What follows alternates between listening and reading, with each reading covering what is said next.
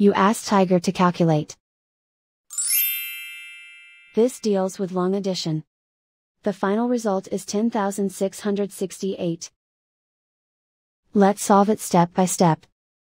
Rewrite the numbers from top to bottom, aligned by their place values, add up the digits in each column, from right to left. 8 plus 0 plus 0 equals 8.